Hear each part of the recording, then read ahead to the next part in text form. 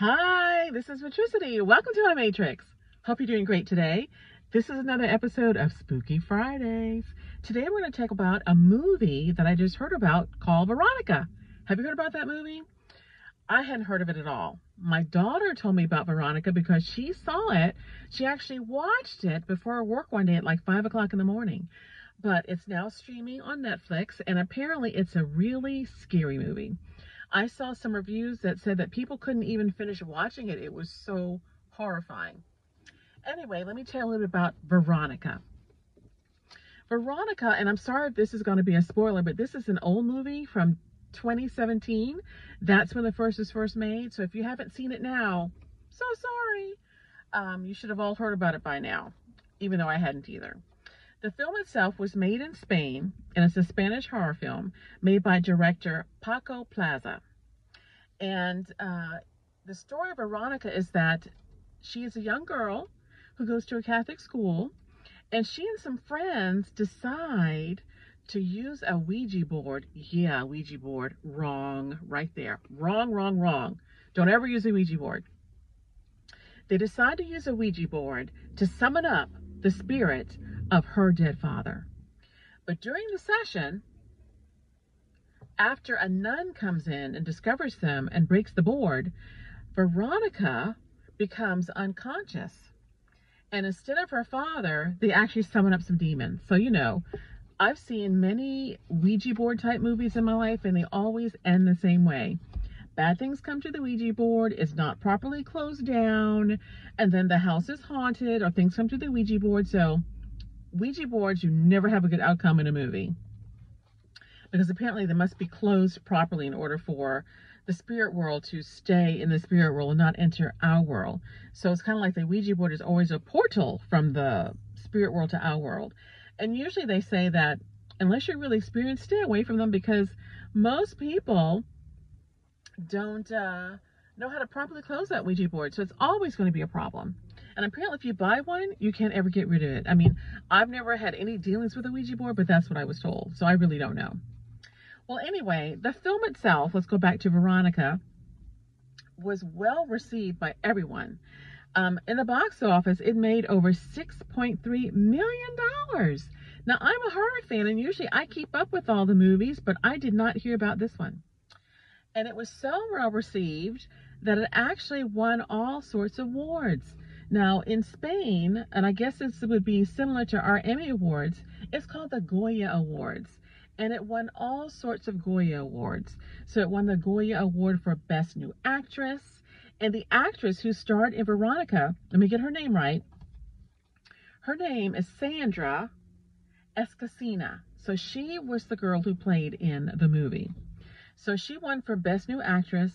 It also won for Best Film it also won the Goya Award for Best Director, and again, his name was Paco Plaza, and also Best New Screenplay. So it won all sorts of awards for the way it was, the storytelling and everything else. So I don't know if I'll ever break down and see Veronica because I've seen many, as I said, many Ouija board movies, and they all pretty much have the same pattern.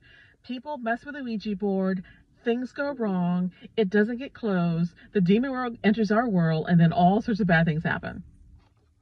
So, um, and after my daughter, since I had heard about the movie, told me her little mini synopsis, oh, I don't need to see that movie. I've seen enough and heard enough from her to know that I don't need to see that movie, which she told me was pretty spooky itself. So that's a little bit about the movie Veronica. But the thing about Veronica is that it was actually based on a true story. So I'm going to tell you all about the backstory of Veronica. Be right back. Remember to like and subscribe, please. Thanks. So here is the backstory of Veronica. Again, this is based on a real girl. Her name was Estefania Gutierrez Lazaro and she actually died in 1991 at the age of 18 due to the circumstances of her having the seance with the Ouija board. So she actually lived in Madrid in a place called Vallecas, which is in southern Madrid. And according to her parents, it was this wasn't the first time that she had been dealing with the occult and the Ouija board. apparently, according to her parents, she started dabbling in the occult with her friends when she was a, a young teenager. So, you know, when I think about that, I'd be like, girl, no, we can't have that in the house. But there she was, dealing with the occult. And she did attend a Catholic school there. And one day, she and some friends, I think they went down to some basement level room or something, but they wanted to use the Ouija board and they were going to try to summon up the dead boyfriend of one of the friends. And the, apparently, the guy had recently died in a motorcycle accident. So they were going to try to bring him back to talk with him. So when they were just doing their rituals, of course, a nun came down, saw what they were doing, discovered they were using a Ouija board, and broke up the seance. The other thing the nun did was that she actually broke the Ouija board. So when she broke the Ouija board, whatever ritual they were doing was not properly shut down. Um, and I know there's some sort of little plastic stylus. I've seen them today where they, you know, everyone holds on to and they ask the questions and it moves around the board. But they didn't have a regular stylus. They were using a tall glass. I guess they didn't have a stylus, but they were using a glass and moving it around that way on the Ouija board. So when the nun broke the board, she also broke the glass. So everything was broken. But the thing that happened next is the thing that caused all the problems with Estefania. When the glass broke, the nun confirms, and so did her friends, they confirmed they saw a white vapor or a mist go straight into Estefania's nose, and she kind of fell down, was a little bit disoriented, but she was never the same again. Now, when I think of that, that I think some kind of demon or something entered her body because she was never the same. So that was the horrible thing that happened to Estefania. So over the next six months, her whole personality began to change. She was extremely angry. She was very hostile and mean to her brothers. She'd be literally, she'd be barking at them like a dog sometimes.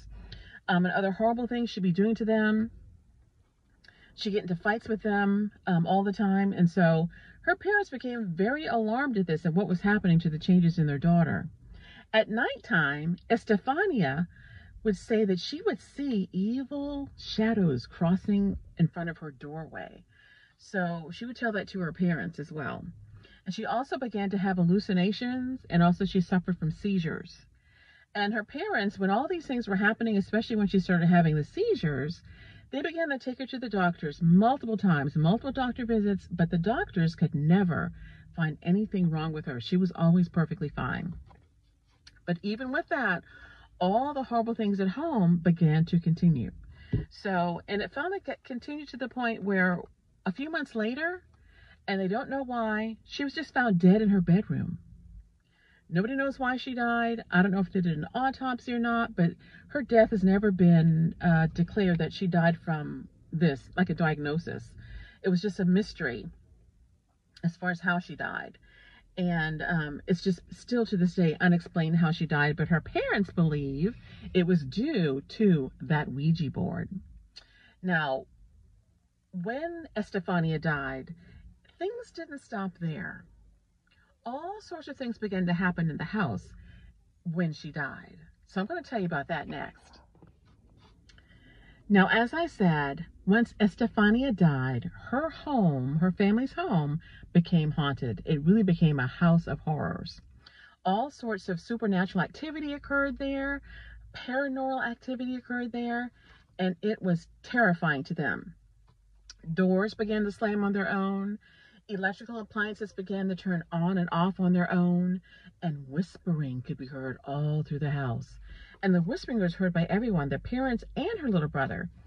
Probably the most terrifying thing that I read, and it certainly would be terrifying to me, was that sometimes her little brother would be in his room, and you know, mom or dad might be in there with him as well, and all of a sudden, the little brother would be picked up by nothing that anybody could see and be thrown on the bed really, really hard.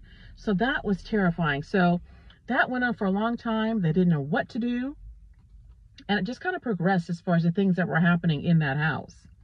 So after about a year, it was so bad that her parents called the police one day because they were all just terrified. they actually had had an experience that was so bad in the house that they were actually waiting outside on the street once the police got there. They were crying and carrying on. They didn't want to go back in. So of course, once you call the police, they have to go in and see what's happening. So then the police go in. So who showed up? There were actually three officers and the uh, chief inspector of the National Police. He came. And so they entered the house without the family. and they said horrible things happened to them. They couldn't believe the things that they were seeing. They also heard noises, loud noises from a porch that was empty. They went out there and looked and nobody was there. Dresser doors started opening and closing in very unnatural ways, not just slamming, but really bizarre ways that the doors kind of open and close. And um, a, there was a cross there, like a double cross. Um, one belonged to the mom, one belonged to Estefania, and they were together, like hanging. And all of a sudden, the cross is separated, like the Jesus, like it was a crucifix of Jesus. That part of the cross separated from each other. So, and it was suddenly upside down. And there was also a picture of Estefania that suddenly burst into flames. And so her face was burnt black. So crazy thing. So the police ran out of the house and they were unnerved. The three officers did not want to go back in and they did not go back into that house. They said, we're done with this. But the chief inspector did. He talked to the family, tried to calm them down, and said, Well, let's go in together and see what's going to happen. So they went back in, and more of the same happened. And so it was so horrifying that the family decided we're going to have to leave. So they moved. They did not go back into the house. They got all of their stuff out that same day and they moved. Now, the officer, the chief inspector, he did write up a report. And his report was really the first report that really validated the supernatural things that were occurring in that home that gave validity to what the parents were saying happened to the daughter. And it was all caused by this Ouija board. So, and there's actually copies of the police report. I think I have a screenshot. You can actually go online and read the actual police report that's written by the um, chief inspector of the National Police. So, there were weird things happening in that home based on Estefania's uh, playing around with that Ouija board. So that is the story of the movie of Veronica, based on a true story about a girl in Madrid named Estefania. So um, this is October, you know, the month for all things spooky and Halloween. So if you're into spooky, you might want to see Veronica. It's on Netflix right now. Um, you know, I'm a horror fan too, but I've seen so many horror movies. I don't need to see this one. I know the plot. I've seen this movie many times. I've seen all the paranormal activity movies, so it's the same thing, as I said before. Kids play with the Ouija board, things go wrong, things come through, demonic things, and bad things happen. Anyway, please like and subscribe, and I hope you liked finding out about the backstory of the movie Veronica based on real events. Talk to you soon. See you later, alligator. Bye.